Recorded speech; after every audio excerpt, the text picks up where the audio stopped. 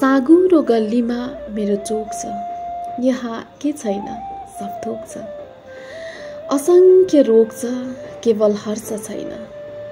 यहाँ त्यसमाथि रोग छ।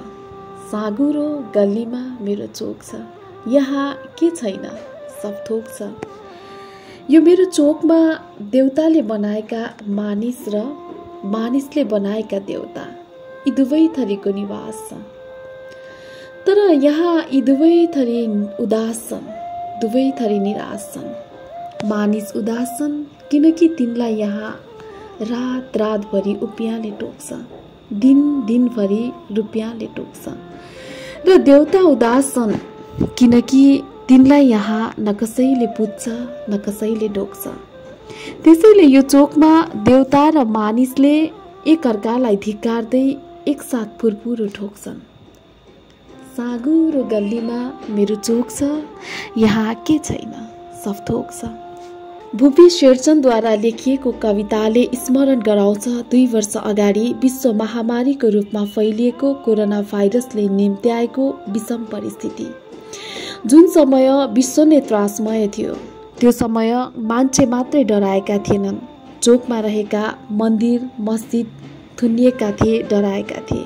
त्यसै निर्जीव ती भगवानका मूर्तिहरू एकटकले मान्छेका दुःख र कष्टहरूलाई हेरिरहेका थिए। तर मान्छेका दुःखलाई मान्छेले नै महसुस गर्न बाहेक विकल्प पनि केही थिएन। एकअर्कादेखि टाढा रहेर घरभित्रको चार घेरामा थुनिएर बस्नुपर्ने बाध्यात्मक परिस्थिति थियो। कोरोना महामारीले नेपाल पनि अछुतो रहेन। कतिले त्यो समय आफ्ना गुमाए गुमेका आफ्नाको अन्तिम दाह संस्कार समेत गर्न पाएनन्। कोरोना महामारीले निम्त्याएको लकडाउनले झनै मान्छेको जीवनशैली सकस बनाएको थियो। सधैँ व्यस्त रहने विराटनगरका प्रत्येक सडक र गल्लीहरू आनन्द विश्राम लिएको थियो। सधैँ जस्तो तछाड मछाड गर्दै लाग्ने भिडहरू एकाएक मौन भएका थिए।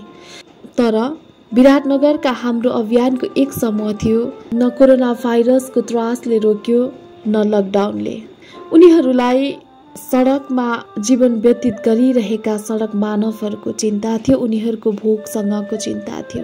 अधिकांश मानिसहरू घरभित्र रहँदा उनीहरू घरदेखि बाहिर रहेका सडकमा आश्रित मानवहरूलाई निहाल्दै निस्किएका थिए।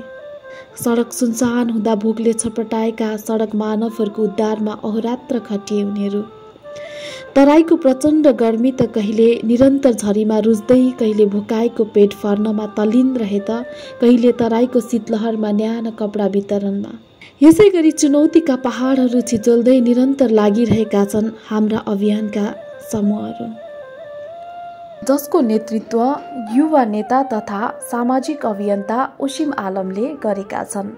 सङ्क्रमण बढेपछि निम्त्याएको लकडाउनमा हाम्रो अभियानका टिमसहित सडकमा जीवन व्यतीत गर्ने सडक मानवहरूको अवस्था बुझ्न जाँदा उनीहरूले भोगेका भोगाई र उनीहरूको भोकलाई देखेर अभियानका समूहले आफ्नै पैसा सङ्कलन गरेर हाम्रो अभियानलाई सुरु गरेका थिए।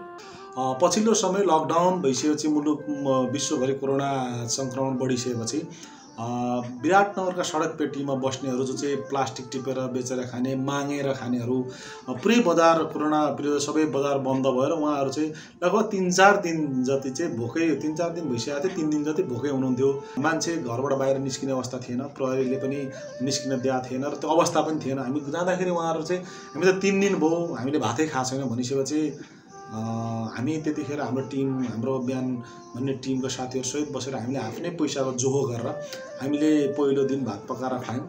त्यो दिन एक सय समथिङ एक सय छदेखि सातजनालाई भात खुवायौँ।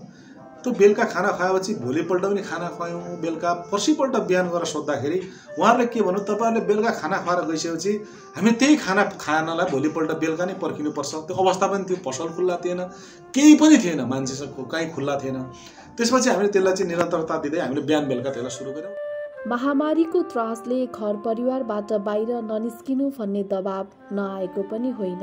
यद्यपि उनीहरूले आफूहरूले अगाडि बढाएको कार्यलाई निरन्तरता दिएका थिए। ऊ छोराछोरी भेट्न खोज्थ्यो छोरी आउन खोज्थ्यो म भेटिदिन्थेँ।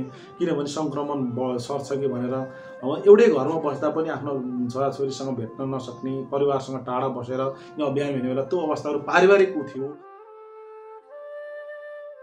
जस्तै यो टिममा काम गर्दाखेरि होइन यति वर्षसम्ममा के शिक्षा पाउनुभयो त?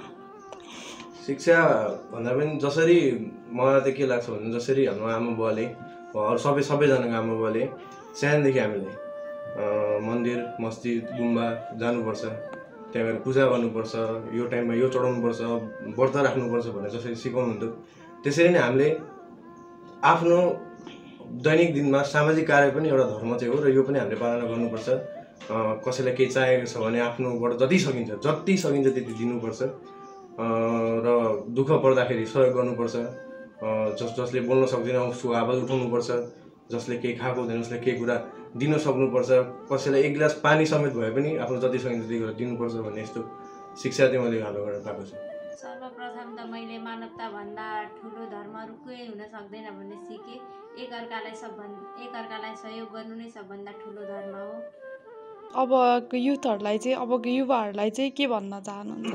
युवाहरूलाई चाहिँ हामी जति पनि यो सामाजिक सञ्जालमा हामी भन्ने गर्छौँ नि हाम्रो देश डुब्यो यस्तो भएन उस्तो भएन यो भएन यहाँ पुग्यो मान्छेहरू तल तल जाँदै गए। जति पनि यो विरोधको एनर्जी छ नि त्यहाँमध्ये कम्तीमा वान पर्सेन्ट मात्रै। त्यति त्यो एनर्जीको वान पर्सेन्ट पनि हामीले टिम बनाएर काम गर्न सक्यौँ भने चाहिँ देशमा क्रान्ति र देशको मुहार चाहिँ अवश्य फेर्न सकिन्छ। हामी जस्तै युवाहरूलाई विरोधको लागि विरोध मात्रै गर्ने होइन। जो जो जहाँ हुनुहुन्छ एकअर्का टिम बनाएर काम गर्नु होला